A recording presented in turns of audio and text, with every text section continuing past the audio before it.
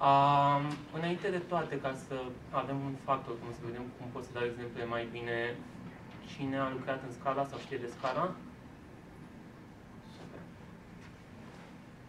Uh, cine a lucrat cu ACA, cu programare paralelă pe actori?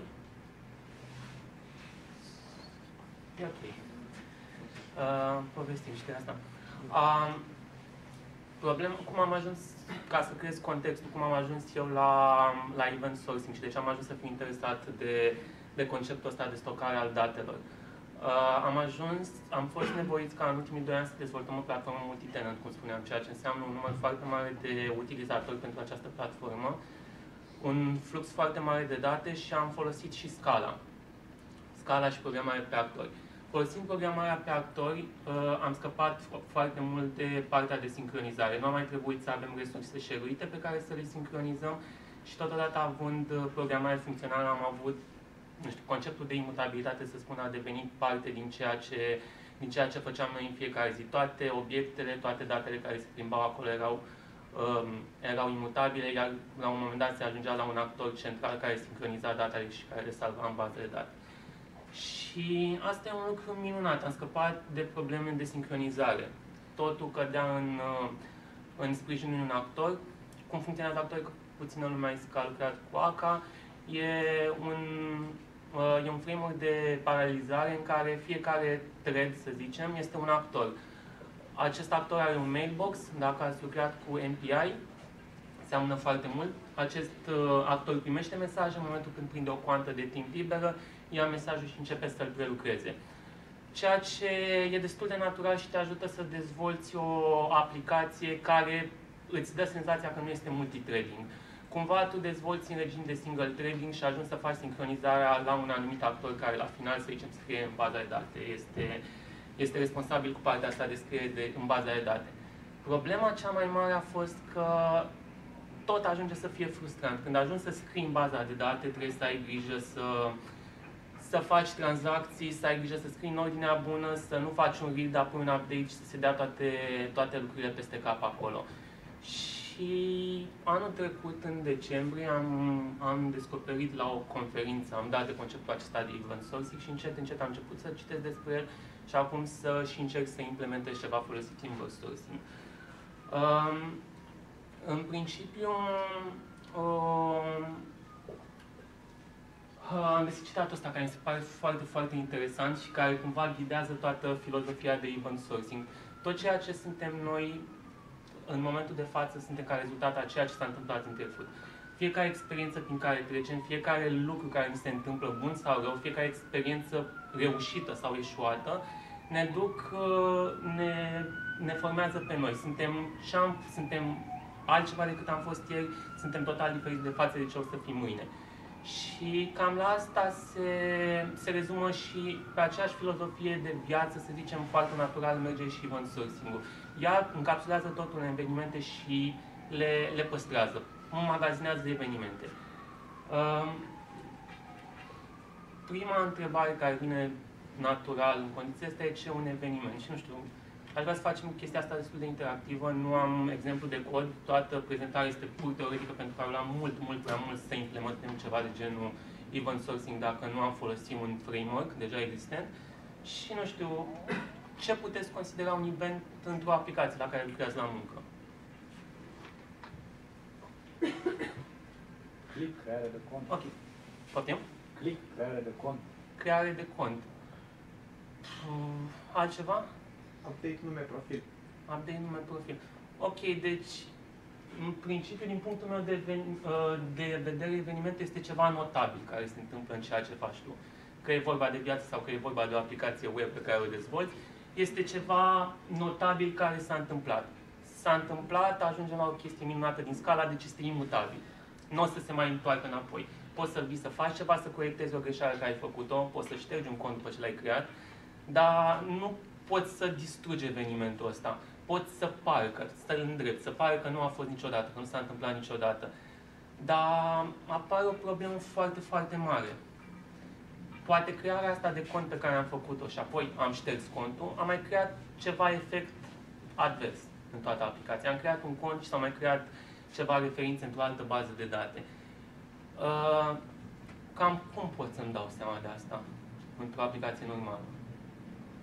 Dacă cineva a făcut un, un create și un delete și s-a întâmplat ceva, s-a distrus ceva în aplicație, în afară de tabela asta care a fost îndreptată, că s-a făcut, făcut create-ul și delete-ul, din punctul meu de vedere, singura șansă este un sistem de login foarte bine pus la punct și să iterezi prin el să vezi cum s-a ajuns în situația asta. Și asta nu e prea ok de fiecare dată, pentru că mulți nu dezvoltă un sistem de logic atât de bun. Și, în principiu, orice eveniment implică un producător și mai mulți consumatori. Cum ziceam, crea un cont nu poate, poate să mă afecteze și pe mine, dar poate să afecteze multe alte instanțe mai departe. Mai mulți consumatori pentru evenimentul produs de mine. Și avem aici o imagine sugestivă cum în urma unor evenimente s-a ajuns de la o mai multă la noi. Și hai să încercăm să facem o schimbare de perspectivă. Să, ce, să zicem, facem zi de zi într-o, într-o aplicație web. O să vreau să dezvoltăm o aplicație care îți managerește un account. Destul de simplu. Să păstrăm în el doar numele, prenumele, un ID și suma de bani pe care o am în momentul de față în cont. Și pentru asta ar trebui să deschid un cont. Operație care aș vrea să fac bazându-mă pe acest cont ar fi să deschid acest cont, să primesc niște bani, să fac o plată, să-mi verific soldul contului în momentul respectiv și ultimul lucru este să fac o altă plată mai departe. Și nu știu cum ați face asta în cu o bază mai SQL, să zicem. Plecând de azi, nu avem nicio tabelă, nu avem absolut nimic.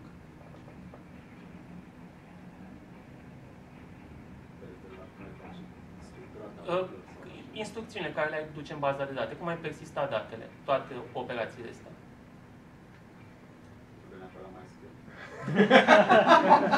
uh, hai să zicem mai SQL pentru început.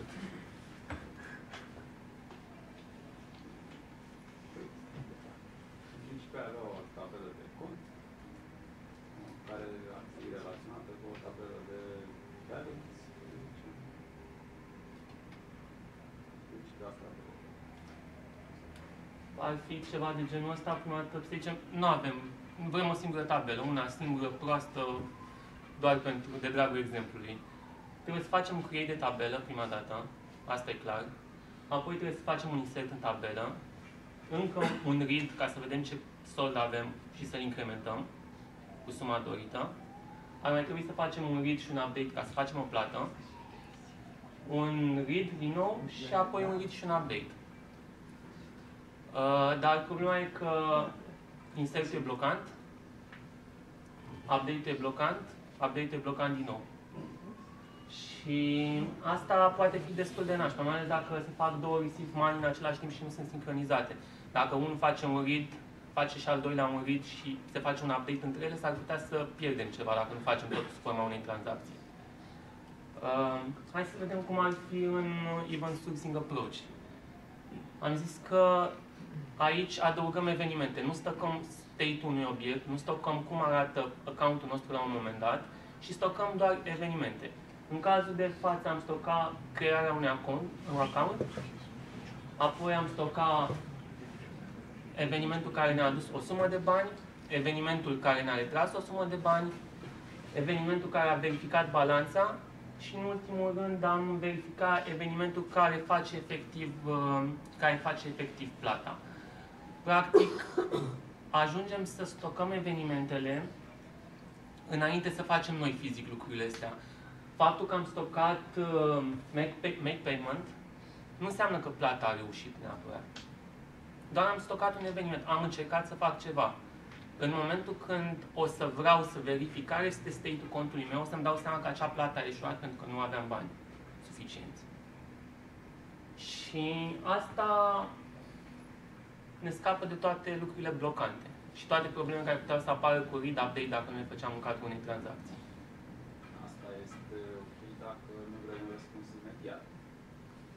Uh, pot să-ți dau un răspuns imediat, pot să merg pe multitrading. Thread-ul ăsta salvează în baza de date, iar thread-ul ăsta se ocupă de state-ul tău intern. Pot, uh, aici vorbim doar de persistarea datelor. nu vorbesc de ce ți întorc ție, pentru că eu pot să am cumva in memory accountul tău în momentul de față. Mi l-am construit la momentul Z, ai venit tu cu încă două acțiuni, eu îți, com- eu îți salvez odată pe un thread, îți salvez în baza de date eventurile care s-au întâmplat și cu celălalt thread încerc să aplic eventurile asupra ta, ca instanță din cadrul aplicației. Și așa nu trebuie să aștept după salvarea în baza de date. Sunt sigur că, să zicem, mergând pe conceptul de am povestit de actor, am un actor care se ocupă doar de tine. Un thread care se ocupă doar de accountul tău. E destul de ieftin să pornești actorul, destul de ușor să-i omori. Practic, crezi tu pe interes din eventurile astea și le ajungi și în ordine.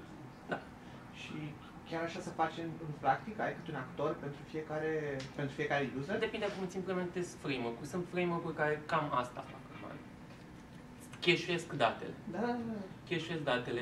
Nu se ocupă de un singur thread de execuție, se ocupă de mai multe. Dar asta depinde de optimizarea fiecărui framework sau de cum vrei tu să-ți gândești. Basically, ca să înțelegi ce se întâmplă, ar fi bine să scrieți tu unul, să mergi cu unul, după aia să vezi cum, cum evoluează lucrurile. Uh, și, nu știu, de aici am putea extrage ușor, am, mi se par foarte relevante două principii care le-am găsit până acum în event sourcing. Și primul este că orice, orice obiect din cadrul aplicației mele pe care am dezvoltat-o cu event sourcing este o înșiruire de evenimente. Ca să obțin state-ul unui anumit obiect, trebuie să, să, să computez toate evenimentele care s-au întâmplat, să le iau, să iau primul, să aplic peste prima eveniment, al doilea eveniment și cumva, cum zicea citatul de la început, suntem suma tuturor lucrurilor care se întâmplă. S-ar putea ca unele lucruri pe care încercăm să le facem să nu iasă. Să încerc să fac o plată și să pice netul și să-mi dea un failure acolo. Sau să nu am destui bani în cont. Când o să aplic eventul ăla, o să știu că a aplicat. Pentru că eu sunt în state în care am, să zicem, 20 de lei în cont și vreau să fac o plată de 100 de lei. Când o să rea, reînșirui toate evenimentele care să creez obiectul, atunci din nou o să mi se întâmple ce s-a întâmplat și în baza de date. În momentul când am făcut prima dată și am salvat în bază de date. O să-mi dau seama că nu am suficienți bani pentru asta. E foarte simplu, pot să trimit, să fac 10 create-uri odată, pentru că au un timestamp. Și timestamp-ul o să fie undeva la o miime de secundă diferențiat și o să-mi dau seama care a ajuns prima în baza de date. Plus că toate o să treacă din acel actor care, care salvează în baza de date și ăsta execută mesaje unul câte unul. Îi vin 10 mesaje odată, o să ia într-o anumită ordine, fix aceeași ordine în care o să fie salvate și în baza de date.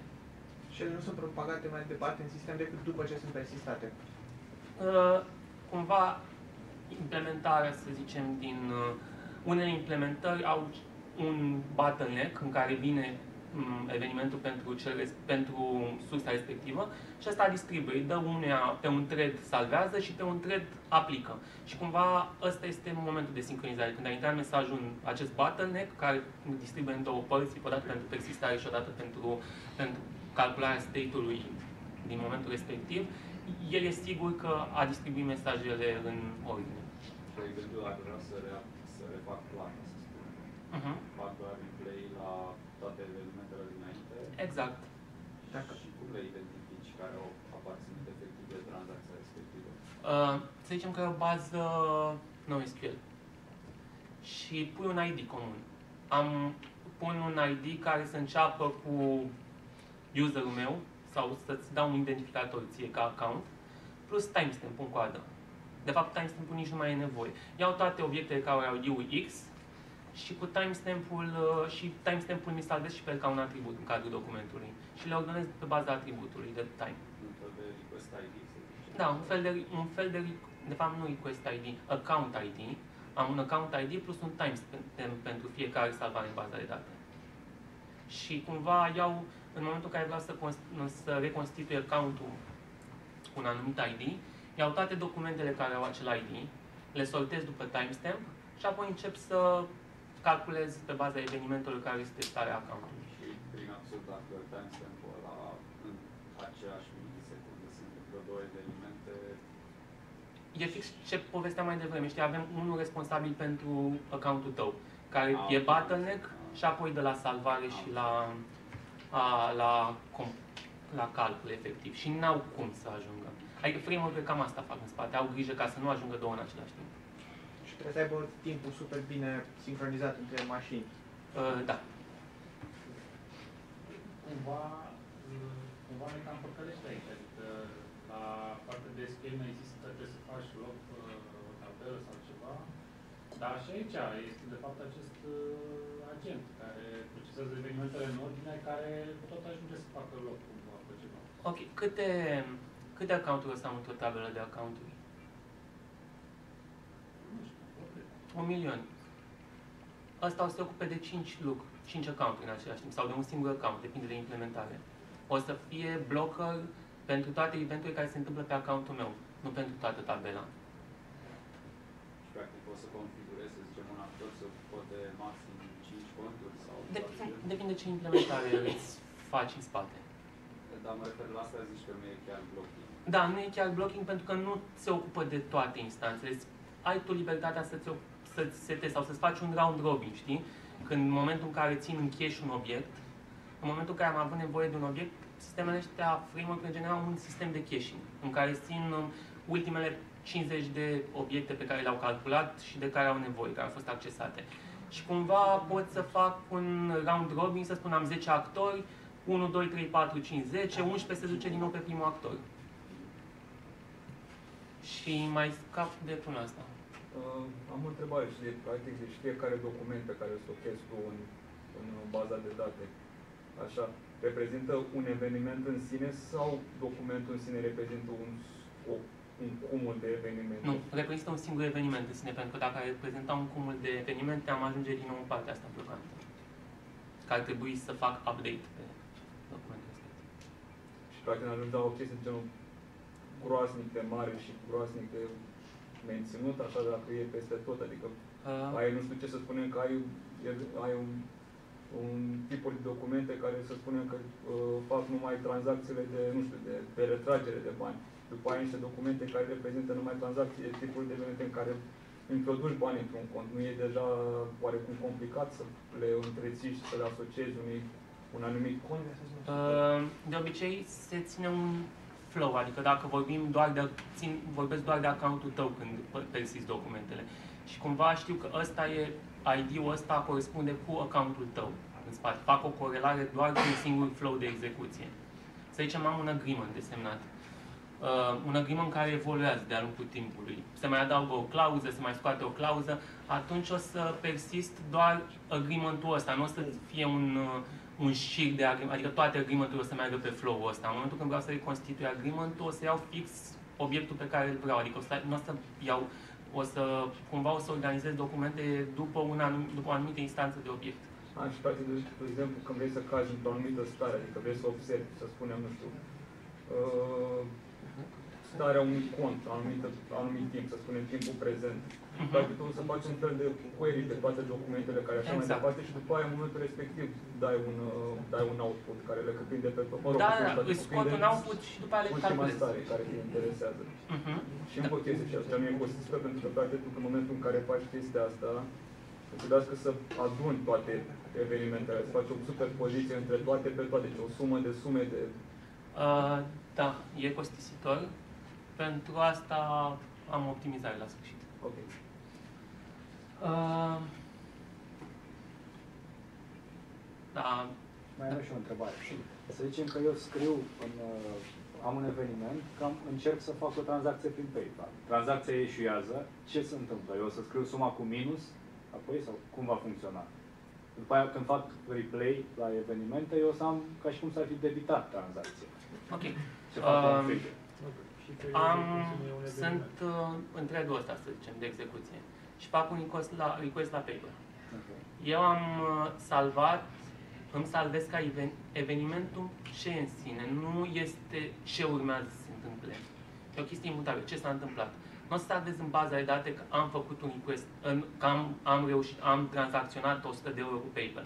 O să salvez în baza de date, eu am făcut un request pe PayPal. Îmi vine răspuns de la PayPal, o să salvez în accountul meu, mie mi-a ieșuat un account de la PayPal. Când o să reconstitui accountul tău, o să arunc din start uh, uh, evenimentul de um, request, pentru că nu mă interesează, mă interesează răspunsul. Bine, asta cum decizi tu să-ți uh, vrei să faci un double check să fii sigur că răspunsul a venit după un event făcut de tine, după un request făcut de tine, atunci vrei să le corelezi, să fii sigur că este un răspuns pentru ceva cu care ai făcut, ai făcut cu adevărat. Deci prin chestia asta e reliable să am un sistem de plată pe o bază de date NoSQL. Da. Și partea bună este că nu mai trebuie să țin login. la toată treaba asta. E Am un în login sine, nativ. totul e un login. Uh, how it works, am cam vorbit de cum merge. Uh, și cum ziceam, uh, captează toate evenimentele din aplicație, dar fix evenimente, nu ceea ce mi-aș fi dorit să se întâmple, cum e exemplu cu Paper.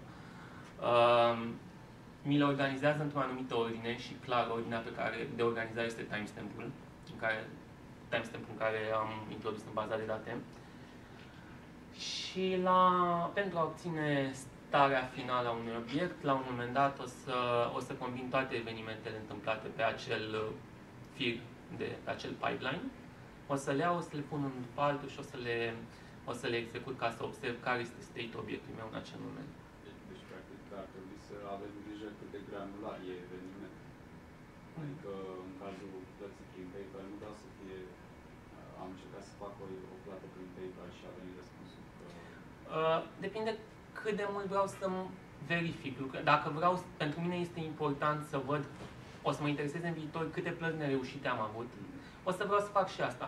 Dacă vreau să îi dau în judecată pe acei de la PayPal pentru că API-ul lor se mișcă foarte nașpa și uh, serviciile lor se mișcă foarte nașpa și mi-a venit un răspuns în 10 secunde, o să am posibilitatea, o să am un login care să arăt, băi, uite, v-am făcut request la 10 și a venit la 11 răspunsul de la voi. Câte detalii intră într-un eveniment de genul ăsta? Adică, Adică, ce vrei tu? Eu aș salva, requ- dacă, am, dacă expun un HTTP și îmi vine un body, eu personal aș salva body-ul, link-ul pe care, uh, URL-ul pe care mi-a venit, timestamp-ul și query params în cazul care am. Poți, practic, tot ce ce e ține relevant de pentru request. evenimentul respectiv. Practic, tot ce ține de request, nu? Tot ce ține de request, vorbind în Pentru că altfel nu prea am cum să fac replay. Da, tot, tot ce mi este mie necesar ca să reconstitui state-ul obiectului. Uh, o să fie jumătate de kilo în plus. Nu, nu prea mă deranjează. Uh, legat de asta cu ocupat, cu memoria, știu că eu am primit o chestie la Google cu 100 de giga, 10 euro pe an sau ceva de genul ăsta. Adică spațiul nu prea e o problemă acum și viteza de accesare a lui nu mai e o problemă așa de mare în cloud. Da, dar vezi că network din companii mai mari așa, da, spațiul este problemă. Nu strâng chiar atât de mult. Lucrezi pe urmă de asta. Da, nu știu, există Big Data acum, există Sp- Spark-ul, există Hadoop-ul, au ce să râșnească acolo. Și până la urmă tot o să faci logging.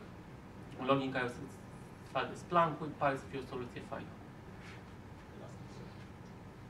toate evenimentele se duc într-o coadă mare, unică la nivel de aplicație sau există cozi diferite de evenimente pe fiecare responsabil? Există responsabil pentru fiecare, pentru că dacă ne se aduce într-o singură coadă, cumva am aduce într-o chestie foarte blocantă. Ar fi toți, exact ca în baza de date, toți ar veni într-un punct și am face... Nu, se duc fiecare pe bucata lui. Uh, și acum aș vrea să vedem de ce ar fi bun Event Sourcing până la urmă și de ce am încercat să implementăm într-o aplicație, pentru că e clar, cumva îți întoarce niște principii pe dos sau îți schimbă modul de a lucra. Și mm, există foarte multă reticență pentru conceptul de event sourcing, tocmai din cauza că vine cu, cu o abordare total uh, diferită față de ce se întâmpla până acum.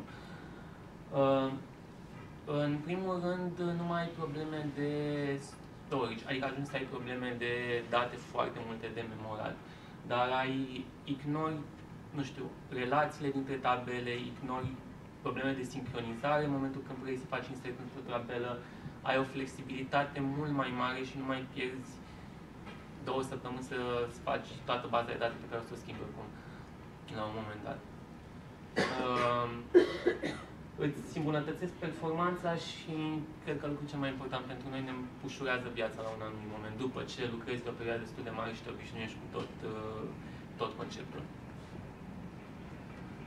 Um, de ce zic că um, nu mai ai probleme de, de memorare și ai o flexibilitate mult mai mare? Pentru că acum totul e un event, totul se stochează ca un event. Nu prea mai stau să fac atât de mari probleme despre ce, ce relații sunt tabelele mele, cum le stochez, care e cheie primară, care e cheie... Sunt niște eventuri. La un moment dat, dacă tu ca user, pardon, o să dispar din, uh, uh, din baza mea de date, o să fie doar un event care a fost șters. Nu, Aici Este un pic misleading, pentru că eventul ăla ca să fie aplicat trebuie să se întâmple totuși ceva pe baza de date. uh, Adică dacă userul a fost șters, da, ok, este un event, dar eventul ăla o să trebuie să fie aplicat. Da, se aplică eventul ăla. Tu ai fost șters în momentul în care tu vrei să-ți accesezi și am un security check, un AUTH, o să vină cineva și o să spună userul ăsta încearcă să se logheze. Se reconstruiește state-ul tău, se, va, se vede că tu nu mai existi, tu ai fost... Uh, Da, mă referam efectiv la tranzacțiile pe baza de date, că ziceai că nevoie să mai de primary key de nu știu ce, adică da, dar trebuie să-ți reconstruiești obiectul în momentul în care vine. exact. Uh, ca orice lucru minunat, vine cu foarte multe lucruri rele după el. Um, cum ziceam, cel mai important lucru din punctul meu de vedere este că întâi salvezi și după aia execuți. Uh, Întâi salvezi. În același moment salvezi și execuți. Probabil o să te de salvat înainte să execuți tu. Dar uh, dacă este un event destul de costisitor. Dar problema e că nu mai ai niște lucruri blocante. Nu mai stai să execuți și după aia salvezi sau invers. Lucrurile astea cumva se detașează. Nu mai avem un pipeline fiecare, fiecare își face partea lui, fiecare trend, fiecare actor își vede de partea lui. Ori aplică, ori persistă date, ori aplică eventuri asupra obiectelor. Da, practic, pipeline-ul ăsta nu se multiplică. Ba da, se multiplică. Mai avem unul singur și avem Da, avem mai multe, dar uh, cu cât avem mai multe, avem mai puține bottleneck-uri.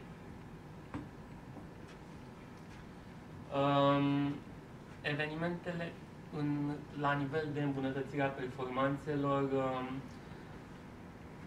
putem să, putem să propagăm evenimentele de îndată ce s-au, ce s-au întâmplat, le salvăm, le, uh, poate în anumite cazuri, în cazul evenimentelor mici, salvarea durează mai mult decât întoarcerea răspunsului. Cumva nu mai avem problema asta, nu mai avem, scăpăm de probleme de sincronizare și de probleme de bloc, uh, blocante, dar uh, partea bună este că pu- putem cumva, exact cum ai spus, să avem multe pipe în funcție de câți actori am- avem, să extrapolăm toate astea pentru actori, să nu mai, să nu mai stea o mie de subscriber la rând ca să updateze același tabel. Și ce faci când îți eșuează right-ul de save pe eveniment? Trebuie implementate niște mecanisme de fault tolerance.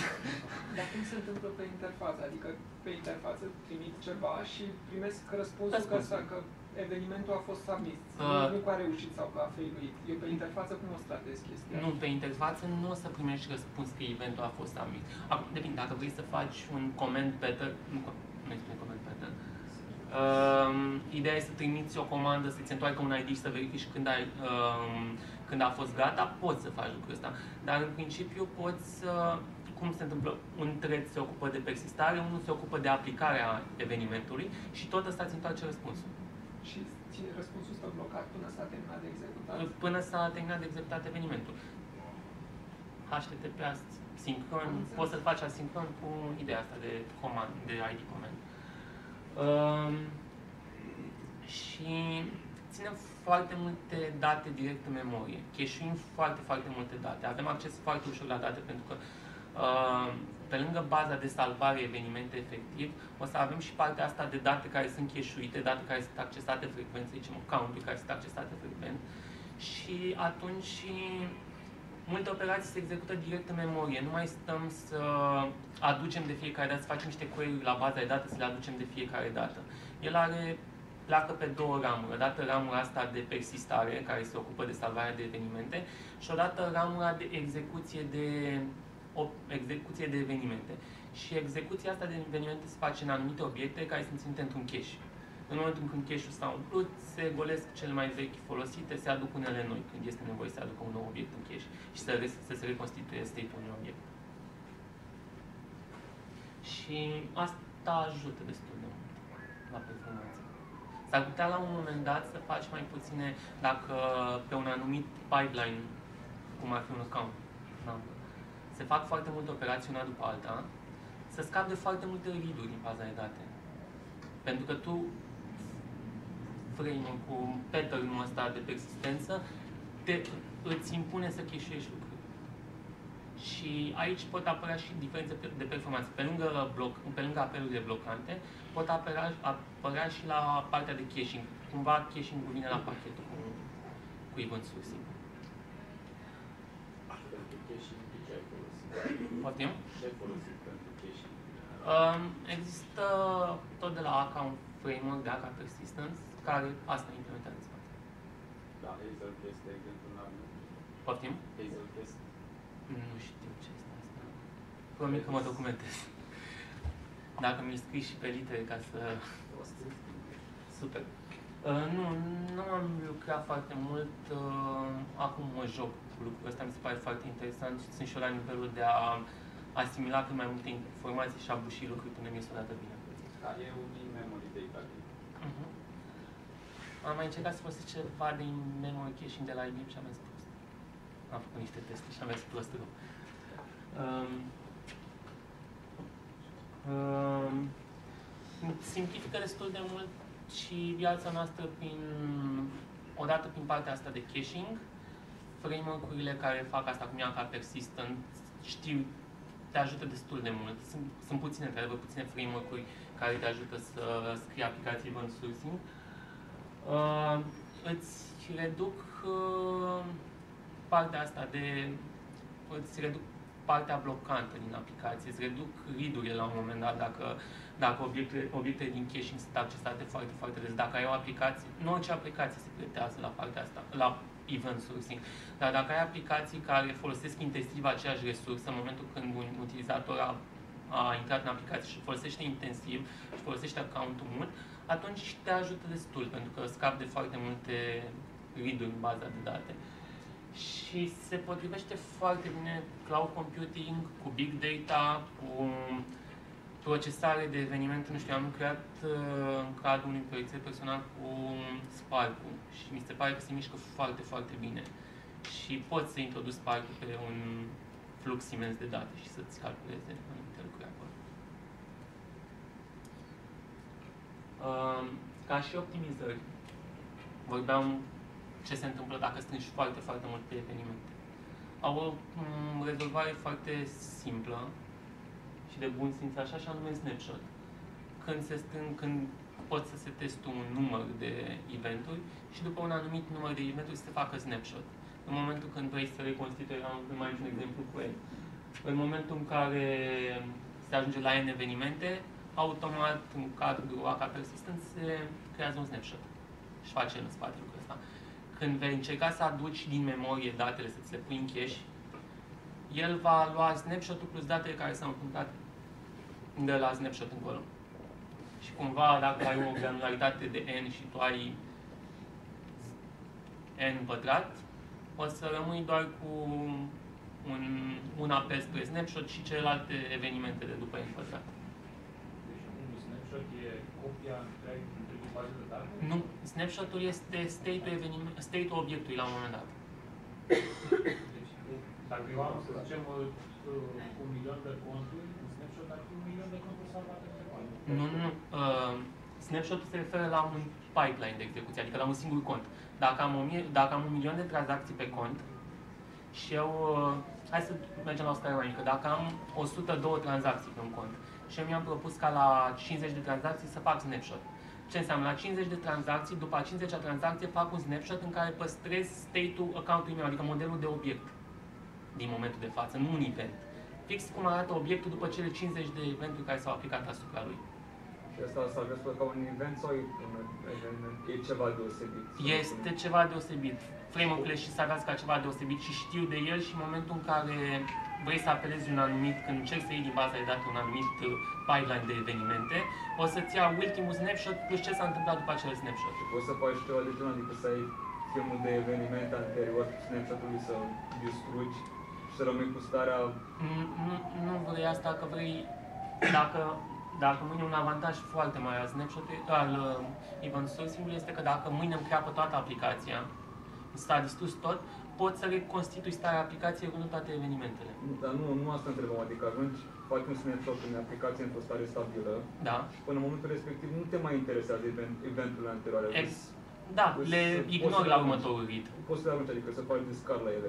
Practic, snapshot-ul poate să fie considerat eventul zero pentru Exact. viața anterioară, Dacă am, posterioară a aplicației. exact, cu cazul cu 102, uh, practic o să am un snapshot și încă două evenimente.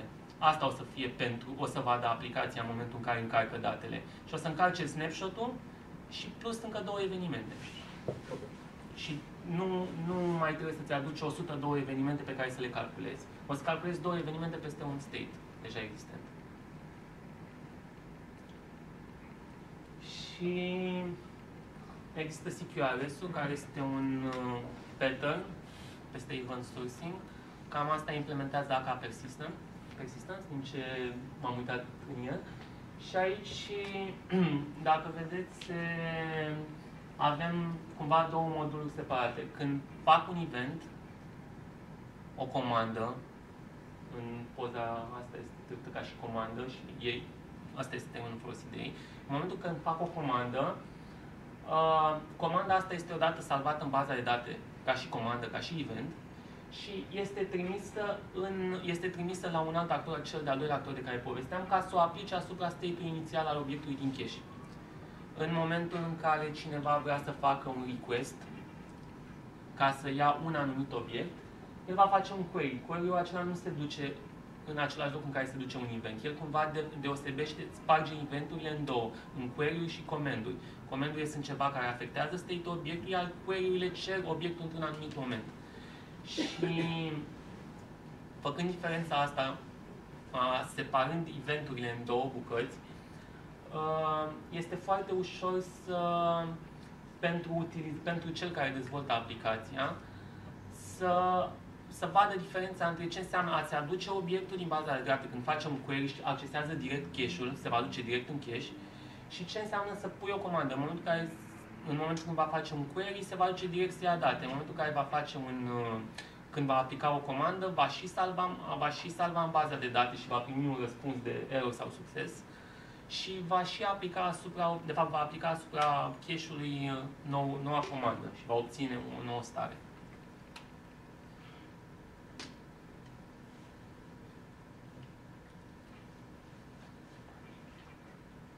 Cumva asta este un pattern care vine peste conceptul de event sourcing, care nu știu, optimizează cam tot, uh, tot ce vorbeam noi mai devreme, de partea de in-memory, de partea de obiecte ținute în cache, de cum să faci să, să plimbi cât mai puțin date și să calculezi cât mai puțin. Spargerea asta este făcută de către acasă sau cineva? Um, Uh, da, cumva tu îți împarți anumite, adică când îți vine un, când îți vine un request, tu știi despre el că este query și îl trimiți pe o anumită zonă ca să ia date din memorie sau știi că este event și ți-l uh, trimiți pe partea de pe partea de um, aplicare. În general e cu get post put.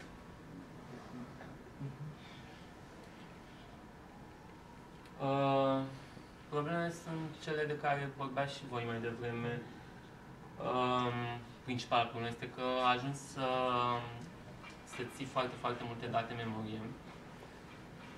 Ceea ce poate fi rău ca și dacă ai, cum ziceai tu, foarte, foarte multe date, dar poate fi foarte bine când ai nevoie să, reconstitui, să reconstitui stări interne din anumite momente ale obiectului.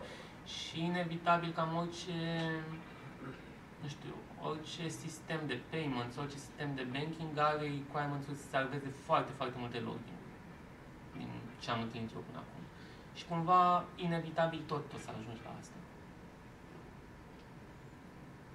într-adevăr, login-ul este șterg la un moment dat. Poți să faci același lucru cu eventuri, să-ți implementezi un mecanism care îți șterge de la 10 snapshot-uri în urmă, îți șterge toate datele și atunci mai cureți din date.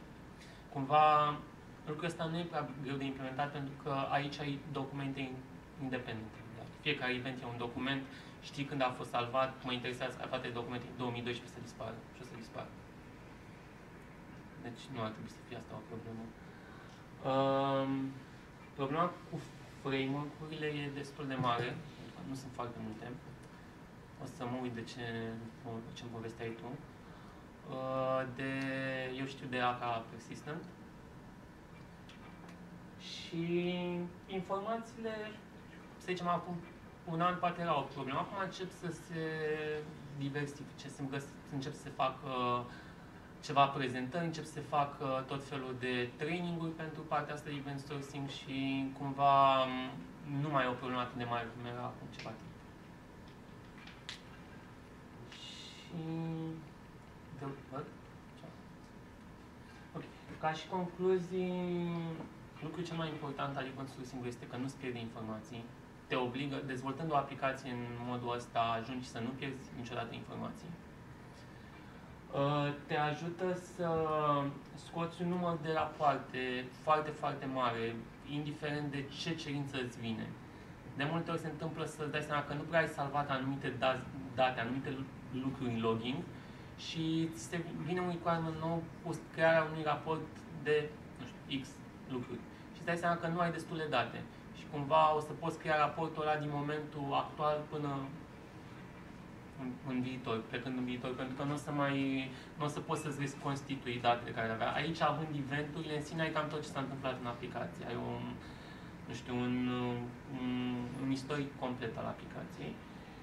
Și e foarte, adică e compatibil, e gândit pentru baze de date nerelaționale și astea au prins destul de mult uh, sunt destul de populare în ultimul timp și ajută și foarte mult uh, pe partea de big data din punctul de vedere. Da. Care ar fi, la ce aplicații s-ar preta cel mai mult abordarea asta? Mie mi se pare că pentru payments merge super bine.